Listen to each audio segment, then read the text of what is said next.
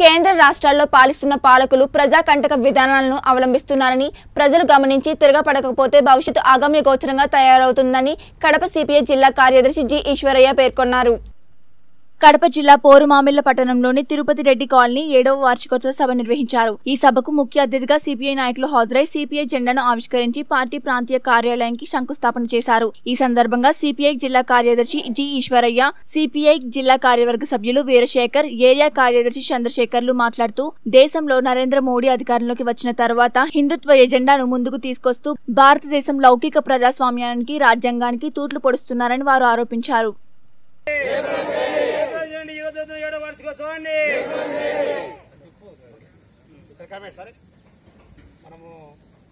వార్షికోత్సవాన్ని భారత communist party CPI CPI జిల్లాలే Marxism Leninism Marxism Leninism చేయండి యువత ఏడో వార్షికోత్సవాన్ని ఏ చేయండి యువత ఏడో వార్షికోత్సవాన్ని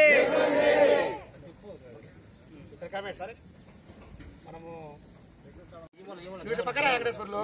కొడుకు నాన్న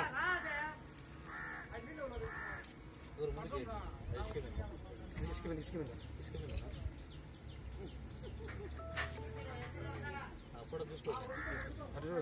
చాలు. ఏడు సంవత్సరాలు అనేది చిన్న సమస్య గుర్తు పెట్టుకోండి. ఓ అమ్మ ఎన్ని సంవత్సరాలు అయింది మనం ఉండబట్టి? అయినా మనకు రాలే. మీరు కడపలో ఇప్పుడే చెప్పాడు. భగత్ సింగ్ నగర్ పేరు చెప్పాడు పదమూడు సంవత్సరాలు పోరాటం జరిగింది. నగర్ పోరాటం జరిగింది. అల్లూరు సీతారామరాజు నగర్ లేకపోతే నంద్యాల నాగిరెడ్డి కాలనీ. ఇట్లా చెప్పుకుంటూ పోతే అనేక కాలనీలు మన నిర్మాణం. ఇరవై మూడు కాలనీలు ఒక కడప నగరం కడప నగర పరిసర ప్రాంతాల్లో మనం నిర్మించాం. ఎద్దుల ఈశ్వరెడ్డి కాలనీ కానీ కమ్ము సాబ్ నగర్ కానీ లేదా ఎస్టీ కాలనీ గిరిజన కాలనీ కానీ ఇట్లా ఉన్నటువంటి ఇరవై మూడు కాలనీలు మనం కడపలో చేపట్టే పదుల సంవత్సరాల కాలంగా.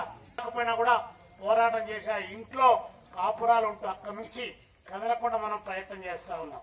అంత మొక్కవోని ధైర్యంతో మనం నిలబడితేనే భూమి పైన మనకు హక్కులు వస్తాయి అట్ట కాకుండా ఎర్ర జెండా పట్టుకున్నాం రెండు రోజులు రమ్మన్నారు మూడో రోజు మళ్ళీ మన పనిలో మనం పోతా ఉంటే ఇప్పుడున్నటువంటి పాలక వర్గాలు అడిగారు కాబట్టి ఇద్దాములైనటువంటి వాళ్ళు కాదు. మంచి గుణపం తీసుకొని గట్టిగా పొడిస్తే కూడా చురుకుదనం లేనటువంటి పాలక వర్గాలు ఈరోజు పరిపాలన చేస్తా ఉన్నాయి.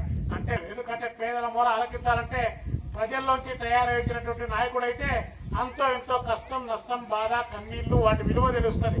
అట్ట కాకుండా లెక్కలో నుంచి తయారై వచ్చారు. ఇసుక దొంగల్లో నుంచి తయారై వచ్చారు. ఎర్రచందనం దొంగల్లో నుంచి తయారై వచ్చారు. ఏమి ఆర్థికాల వ్యాపారం నుంచి తయారై వచ్చారు. పెట్రోల్లో కల్తీ చేసేదాని నుంచి వ్యాపారం నుంచి కల్తీ తయారు చేసిన నాయకులు ఉన్నారు. అంత కల్తీ రాజకీయాలు అనేటువంటి వాళ్ళు అధికారాన్ని గట్టిగా పట్టుకొని హస్తగతం చేసుకొని మొత్తం భూ కబ్జాల దగ్గర నుంచి అన్ని రకాల కబ్జాల వరకు wide mafia mine mafia red mafia అన్ని రకాల మాఫియాల్లో కూర్చులుగా ఎంపీలుగా ప్రజా ప్రతినిధులుగా రకరకాల పద్ధతుల్లో వచ్చారు. అలాంటి వాళ్ళకు మామూలుగా పొడిస్తేనే విలువ ఉండదు. గుణపతం పొడిచినా కూడా చలం లేదు. ఇంకా గుణపతం మనం గట్టిగా పొడిచామనుకోండి గుణపతం పొడుస్తామంటారా? దాన్ని ఇలా బుల్డోజర్లు పెట్టి రాత్రి రాత్రికే పైకి లేపేస్తామని చెప్పి అంటారు. లేపడానికి కూడా వస్తారు. అప్పుడు కావాలి జెండా. ఏం కావాలి? అప్పుడు ఎర్ర జెండా కావాలి. అక్కడ కట్టినటువంటి ఎర్ర జెండా పైన జెండా జనానికి దూరాలి ఆ కర్ర ఇట తిప్పి మనం చేతిలో పట్టుకుంటే ఆ పక్క దొంగల యొక్క తలకాయలు కూడా పగలాలి.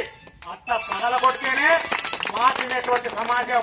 ఈరోజు కళ్ళ ముందు వచ్చిన ఆడవాళ్ళు వచ్చారు కాకి డ్రెస్సులు వేసుకొని ఈయన కొంతమంది వచ్చారు బాగా పెద్ద చొక్కాలు వేసుకొని అని చెప్పి మన కాలికి పని చెప్పామనుకోండి వాళ్ళు ఇక్కడంతా కను చూపు మేర కబ్జా చేసుకుంటా వస్తారు. శ్మశానాలు వదలడం లేదు. శ్మశాన